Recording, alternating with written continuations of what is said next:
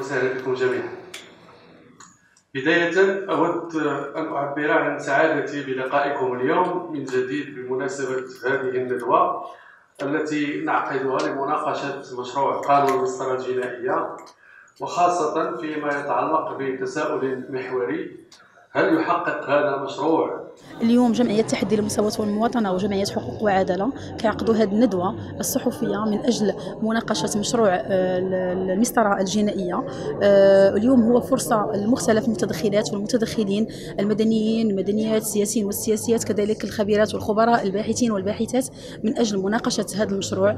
آه، كذلك من أجل الإجابة على سؤال مدى مراعاة هذا المشروع لقضايا النوع الاجتماعي وكذلك إلى أي حد سيتم يعني آه، إدراج النوع الاجتماعي في هذه التعديلات. اليوم حنايا يعني كنحاولوا أننا نسلطوا الضوء على هذا المشروع لما له من أهمية ورهينيه وكنتمناو أن هذه التعديلات يتم أخذها بعين الاعتبار آه، أمام الأمانة العامة للحكومة المغربية. أكيد على أن المغرب كيعرف واحد العدد ديال التعديلات واحد الزخم التشريعي كبير من خلال عدد من من القوانين أو مشاريع القوانين اللي كتناقش أمام قبة البرلمان. من ضمن هذه مشاريع القوانين مشروع قانون المسطرة الجنائية. أكيد نذكروا على أن قانون آه، مشروع قانون المسطرة الجنائية هو قانون إجرائي يتعلق بالإجراءات آه، أو التي كتضبط التقاضي أمام القضاء الزجري أو القضاء الجنحي.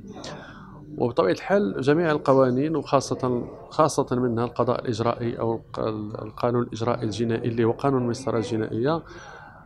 ما ينبغي أن تكون فيها مقاربة بالنسبة لجمعية حقوق وعدالة مقاربة آه، إشراك مقاربة النوع الاجتماعي.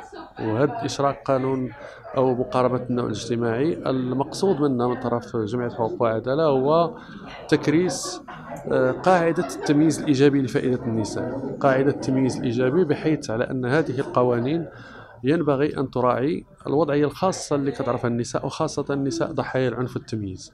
وبالتالي الموضوع اليوم من أجل إيجاد هذه المقاربة وإيجاد أو آه، الخروج بتوصيات في سبيل استعمال التوصيات في إطار الحملات الترافعية اللي كتقوم بها جمعية حقوق وعدالة بطبيعة الحال بالإضافة إلى باقي شركائها من منظمات المجتمع المدني من أجل أن يتم أخذ هذه المعطيات لفائدة النساء. ضحايا العنف والتمييز بطبيعة الحال وخاصة آه، المقاربة ديال قضايا العنف المبني على أساس النوع الاجتماعي. أكيد على أن هذا اللقاء هو واحد من عدد من اللقاءات اللي كتقوم بها جمعية حقوق وعدالة في سبيل تكريس المساواة أمام القانون وتكريس قاعدة التمييز الإيجابي لفائدة النساء.